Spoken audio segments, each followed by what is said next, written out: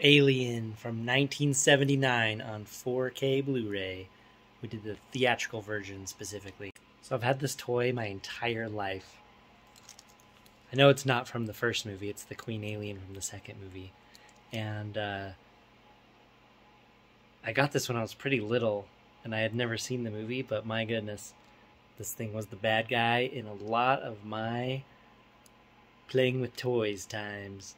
I had the Terminator fight this thing. I had the Wolverine fight this thing. I had all kinds of. I had this thing kill, just slaughter squads of GI Joes. Um, but perhaps the largest casualty from this thing is my mom's foot. Every time she would step on this thing, she would swear.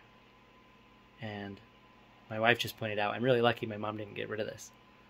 But yeah, this thing definitely like stuck its little mouth in a lot of a lot of my action figures heads. Also when I was looking for the thumbnail for this thing, there's this part in the movie that's like has basically a strobe light going like such. There you go. And straight up gave myself a migraine, so I can literally only see half of the screen right now. It's kind of awkward. Okay, I'm back. For you that was only a few seconds, but for me that was 24 hours because that migraine got really bad. Anyway, look at this shot. My goodness. So, um, my wife and I just compared a couple of the a couple scenes from the Blu-ray to the 4K, and there's a pretty major difference. So, the Blu-ray seemed like it had almost like a blue tint to everything, and not because it's Blu-ray, but just because that was like the color timing of the Blu-ray and the 4K seems to have more of a like varied colors in inside of everything. Like these, like for example, these ship models, they look a lot more like really big, large ships in the 4K, and on the Blu-ray they looked like little toys, which is interesting because uh, in other movies at high resolution you kind of see the flaws, but it seemed like in the lower resolution and the bad color timing, it actually kind of messed up how it looked. So I thought the Blu-ray looked pretty good overall. Like the details were really good and the blacks were pretty good, but the like the depth of the colors kind of made things not look realistic. Okay, look at this shot. Look at that.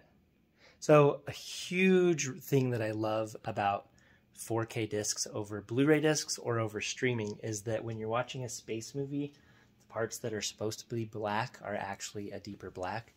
And then um, the thing I love about watching space movies on OLED TVs, this is this isn't an OLED TV, I, that's a different one. But the thing I love about watching space movies on OLED TVs is just how how the blacks are truly black.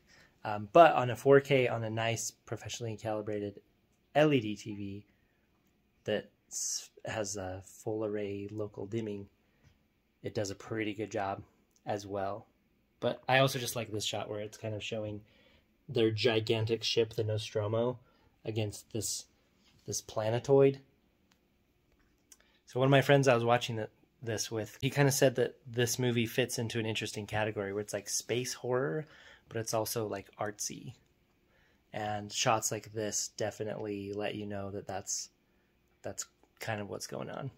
So another big difference I noticed on the 4K versus the Blu-ray, um, other than the image is generally darker on the 4K, on the Blu-ray, the people their faces just look more natural, whereas on the 4K, it's almost like they had like a like just fuzz, just fuzz kind of breaking down the detail on their faces. The I'm always going to talk about this, but the the grain structure of the film because this was shot on film, and so you should always see, especially in the lighter areas, you should see like a tingly as the film's going by, and the grain on this is great. It's it's pretty light. It's not crazy. I think I felt like lots of times like I was watching a brand new movie, even though it's like at the end of the 70s.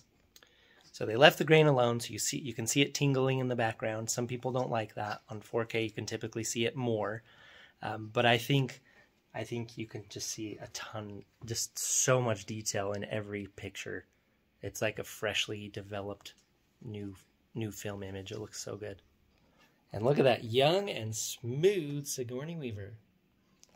Actually, I guess later in the movie you get to see a lot more of her. But um, I wanted to say that the 4K this is a huge upgrade over the Blu-ray, and of course, it's a gig- gigantuous upgrade over any streaming version. So, it's a big upgrade specifically in that the colors look better. Um, the, there's of course the more detail, and then the and the lighting, like the depth, the depth of the light and the dark. It just looks more, just looks more filmic. Whereas the Blu-ray looks like they kind of just have the lights turned on. Like it's like before they started filming, they had one too many lights turned on.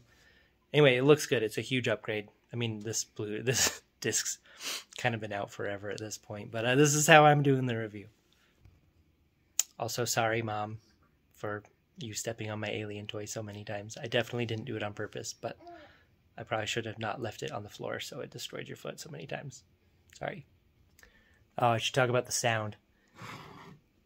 Anyway, so while these guys are having their soft but rough landing, uh, the sound on the Blu-ray is really good, and the sound on the 4K is really good. I'm pretty sure it's identical, but it sounds awesome.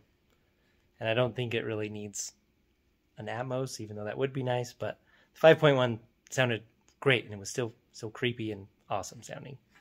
I love how this landing gear looks when it lands on the uneven rocks. looks so cool. So the landing gear just barely made contact. Watch watch what it does. That just looks so cool.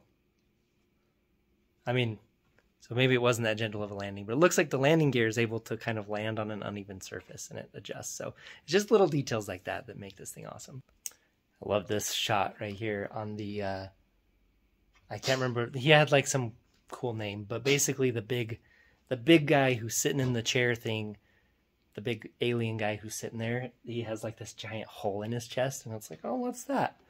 What's that? It looks like something may have burst out of there at some point. And it's like, ah, foreshadowing, so cool. Right here. So it's kind of weird shot, but like this is like the face. And like there's like a breathing tube thing. This is like the shoulder. This is like the, should be like the stomach. Because he's sitting in a chair. Anyway, and you see this thing right here. It's just like this big old hole in it. And it's like, oh, what, what happened to that guy? Oh, it's probably fine. Just put your hand in it. Here's another kind of foreshadowing shot. It's kind of hard to tell what it is. Uh, but that is a giant hole in the floor that looks like it's been melted through. And it's like, oh, what what melts holes through floors? It's like, ah, oh, I don't know. Anyway, let's just keep shoving our hand in every in every creepy place we can find it. And then later, if you're that one guy, you stick your face in an egg. Actually, I don't blame him. Every time I find a creepy egg of unknown origins, I stick my face right in it. All right. This this is disgusting. Look at that. Ugh. It's like so slimy. Like it's just it's like so slimy and disgusting. Boop. Oh no, acid. Anyway, the, the face hugger that was on that guy's face is like all just wet and slimy looking. It's just so oh, excuse me, the heebie jeebies look at it. Alright, so the strength of this movie I think is in the creepiness and the moodiness and it's just it's about maxing out in creepiness and moodiness at this point right here. So you got Dallas is cruising around in these tiny little scary tunnels, looking for the alien, and uh, and then unfortunately the the in in my opinion the dumbest shot in the whole movie uh, happens that that I think in the director's cut they probably should have done something because it, this looks awful. And it's actually this shot that makes me not like the movie as much. Um, but then it's the entire rest of the movie where I'm like, yeah, this movie is really, really, really good because it has that like slow artsiness, but also like kind of fast paced horror mixed, which is and sci-fi, really good sci-fi, almost hard sci-fi mixed with the horror and the artsiness. So it's I think it's a perfect mix that I haven't really seen much much copy. But without further ado, here is the dumbest shot in the whole movie that really kills the whole mood for me. Okay, not the dumbest shot yet, but a really cool shot. Look at that. He's like crawling in tunnels. He's got a flamethrower. It's awesome. Anyway, dumb shot incoming. Okay, I hope you have your space horror pants on. Maybe even a diaper, because here it goes.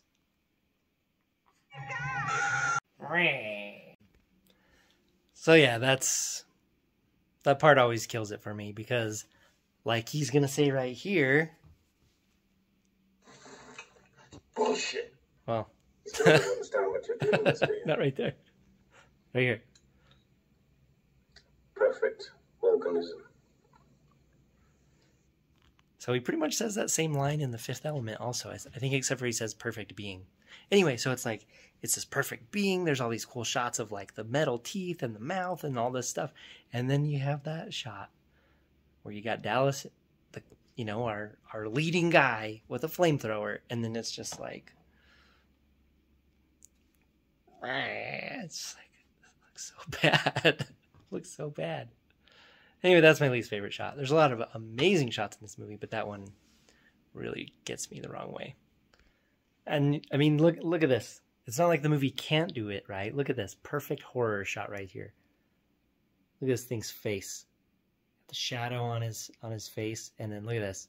It's like dripping and scary, and then it's like, yeah. All right, hopefully I paused it in time before I showed him get a face hole. So once again, we have a Ridley Scott movie watching with a cat or an animal watching somebody die. So just like in Blade Runner when the when the owl's watching when the guy goes and crushes his creator's head. And then in here, you've got the cat watching. It's like a close up on its face. And I wonder I wonder if are both of them harkening back to the owl watching the Frankenstein monster kill stuff in the Bride of Frankenstein. I don't know. But anyway, I just found that as an interesting parallel. All right, then we get back into the part that makes me go nauseous. Crazy strobe chase scene. But it's like it's like perfectly scary here. Where you just see glimpses of the monster and the or the alien or the xenomorph and the the way it shows it to you is actually like effective like effective and terrifying you know instead of that stupid shot i showed earlier. So anyway i'm not i'm not dissing the whole thing. It's just that shot is real dumb.